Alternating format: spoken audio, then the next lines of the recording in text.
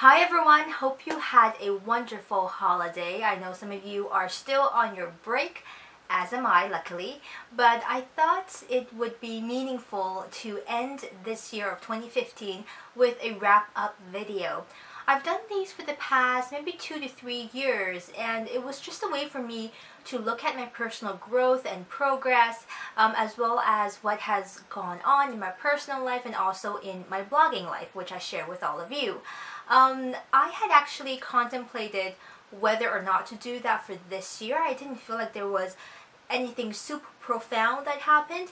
However, one of you had actually commented and asked me if I had been, you know, planning to do the same wrap up and I thought why not? Let's do it. Let's take a look at what went down um, and I'm excited to share with you the plans I have for 2016 as well. So you're here at the right place. Um, let's talk shall we 2015 I think for me my goal was really to explore um, I already, you know, had a good, I think I would call like a steady number of viewers and readers for my blog and over here on YouTube. Many of you um, whom I have talked to and gotten to know through bits and pieces of your comments throughout the years. So I recognize all of you whenever you comment, um, especially if you've been around for a while. So thank you for sticking by. I always enjoy having these conversations with you. So that's been really fun.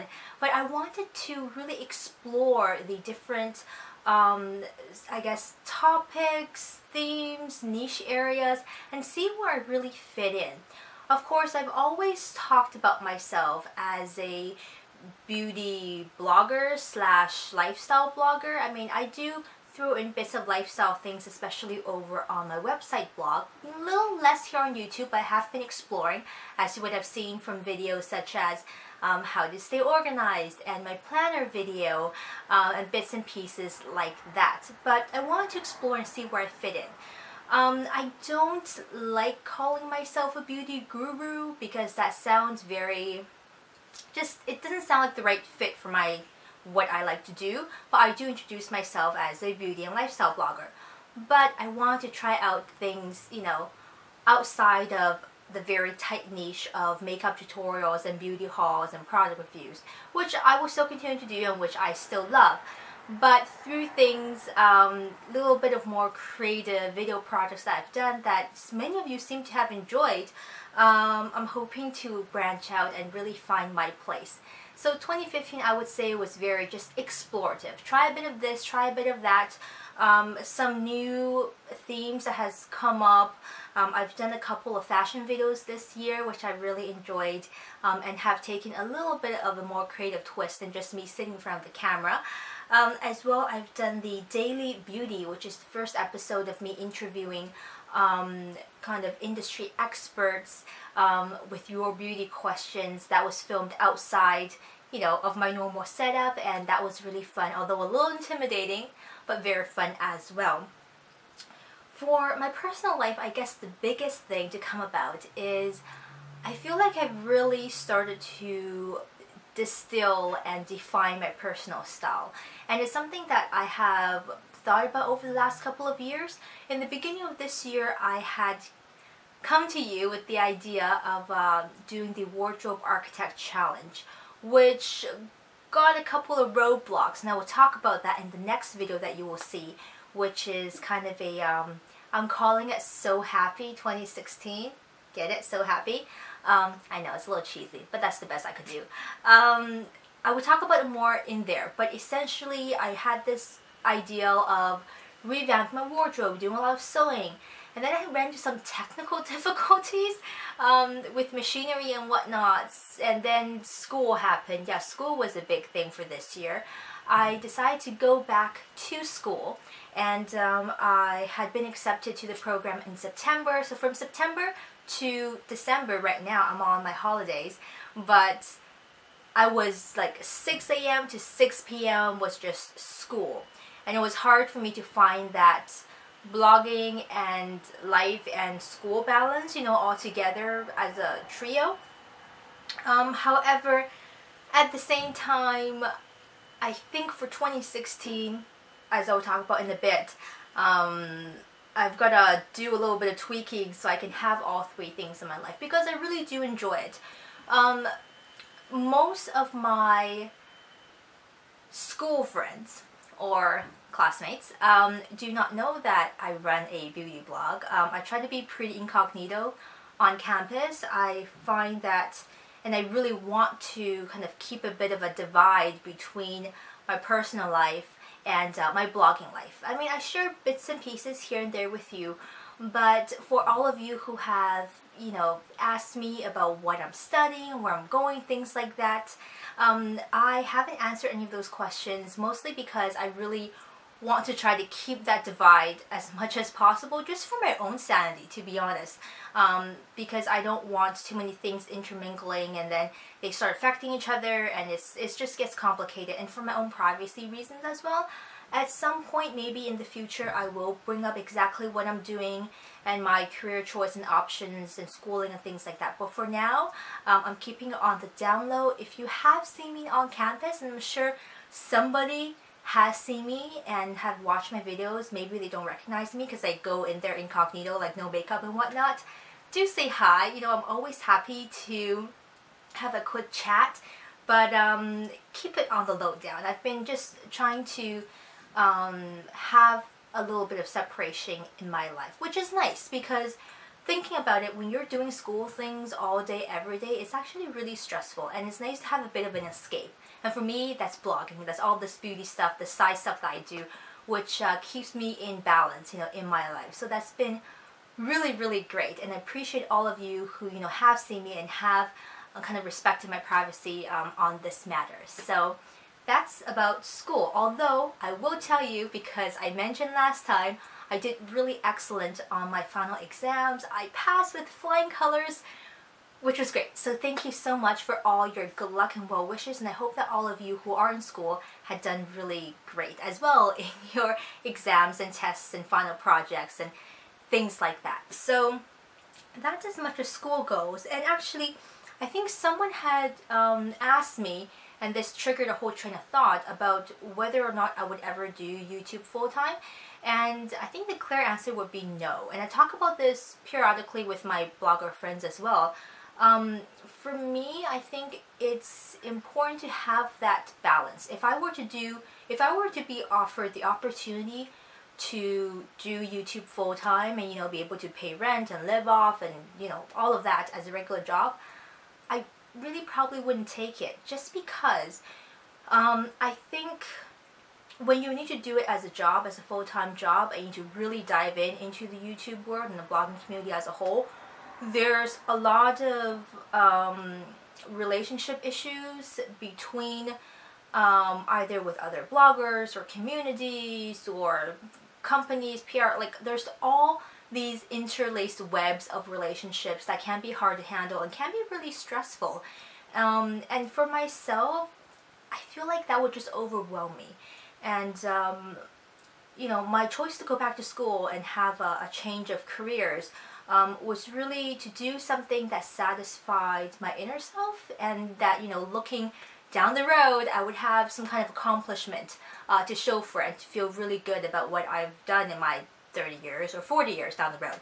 So things like that. So I probably would never, I'm saying that right now, but in the foreseeable future, um, I don't see myself doing YouTube full time, but I will continue to do YouTube and blogging for as long as I can, and I like to keep that um, two separate things in my life, but they both enhance my life in different ways. So that's addressing that, um, which some of you have asked me before, and I think it's just it's good to have a day job, you know, um, not only for stability's sake, but also just to keep yourself grounded and not be too caught up in this very youth-driven, very social media heavy, trend-driven world that is YouTube.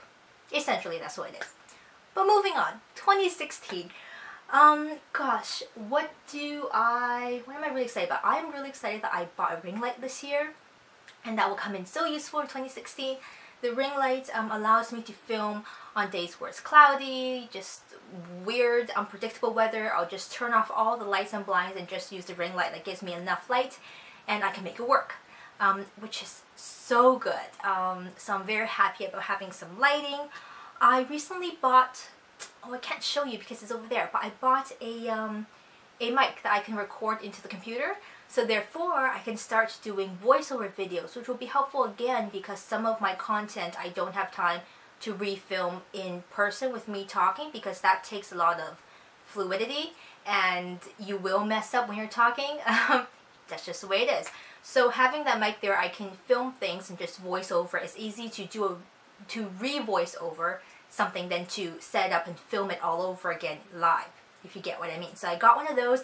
I have the um, the Yeti mic and I have it in the whiteout version, which is completely white. It's so sleek. I will show you another video if you're interested in my filming equipment. I'll talk about that in, in um, another video, essentially. But happy to have that, and I'm looking to add a mic to my current um, DSLR that I'm filming with. This setup right now, I am a little bit far away just because of the angle of the lens. So sometimes my voice isn't doesn't project as well as I like it to. I don't have a big shouting voice. I talk a lot, but I don't shout. So I'm looking to get a little attachment for this DSLR so you guys can hear me all better and that's work in progress. Um, so hopefully I will pick one up and order one January or Feb. Um, audio quality will improve, which is great. So that's for the tech stuff. Um, in terms of what type of videos are coming, like I said, 2015 was the year of exploration. I tried a lot of different types of content and I wasn't really worried about consistency. So 2016, I'm hoping to really pick out the subjects I'm interested in. And I would say for certain, I really love the slightly more crafty, artsy videos I've done. I did one in the beginning of, of 2015 called a DIY uh, Chic and Simple desktop calendar, which I loved filming and actually do use in my personal life. So to be able to share with you these little tidbits and crafty things I do. However, I haven't quite decided the right format to do for those videos because I mostly do everything myself and sometimes depending on the size of the project, um, I might need an extra pair of hands to help me film those videos. But more crafty things um, are in plans, uh, so very excited about that one. I am looking to do more beauty tutorials or try on of beauty products. I review um, beauty products over on my blog because the video format just takes too long to go through every single product but I can do it, you know, type it up on my blog. But I love to do more tutorials and full face looks and with the, um, the new backdrop that I got this year along with the ring light and everything, um, I'll be able to do that. So excited about that as well. Um, I am hoping to do a bit more fashion related videos, which I've done this year, but I want to do some more specific focus one for next year, especially when it comes to sewing as well. I recently just bought a sewing machine this week, which I'm so thrilled about, which I will share with you, like I said, in the next video, which is about sewing. Um, so more of that, and of course, if you have any requests for things, always feel free to let me know, and actually leave it down below in this video so I can read it and um, add it to my plans for 2016. So a bit more fashion videos, however, I will say I don't think I intend on ever becoming a fashion blogger. I think they're a they're a pack on their own and um, I'm not quite sure that I fit into that niche and I have a slightly different taste and aesthetic than the trendy ones right now. So either way, more of my own style of fashion videos will be coming. I'm also hoping to do a bit of um, organization videos. I've been on this thing about just clearing out stuff. um, I do have a lot of stuff, uh, partially because of what I do as a beauty blogger. I get sent a lot of PR items, so I'm trying to you know, do a lot of donations and see what I use, what I don't use, you know, people I can pass it off to, and just really keep the things that make me very happy. I think that's important to have things in your life that bring joy to your life. Um, and then whenever you open your closet or use something, you always feel happy about it versus, oh, you know that you know that feeling like when you open your closet and, and you're like so many clothes, nothing to wear, right? You don't want to be in that situation. So I've been really decluttering and um, categorizing my items and just keeping the ones that make me super happy. So that's a work in progress, but um, more of those organizational videos will hopefully come. I have one planned for closet organization. I've kind of redone my closet just in terms of uh, the layout and what I got in there and how to sort things out. So look forward to that as well. Moving ahead then, I think for 2016 the key word is, uh, actually there are two key phrases. Number one, efficiency. Hashtag efficiency needs to be my thing for 2016. Because of all these different parts of my lives coming together, and I really want to keep everything, um, it's important for me to be more efficient and decide on, okay, block out time to do this, block out time to do that. Um, and block out time for myself as well. I've realized, especially with school full time, I've become a bit of a workaholic. When I'm in school, I'm like, okay, work, work, work on school stuff as soon as I get home, I'm like work, work, work on blog stuff. And there's not really a time for myself to relax and just do nothing and just read a book or something that I enjoy or sew even, right? I've, I've pushed sewing to the side because it's either school or blogging.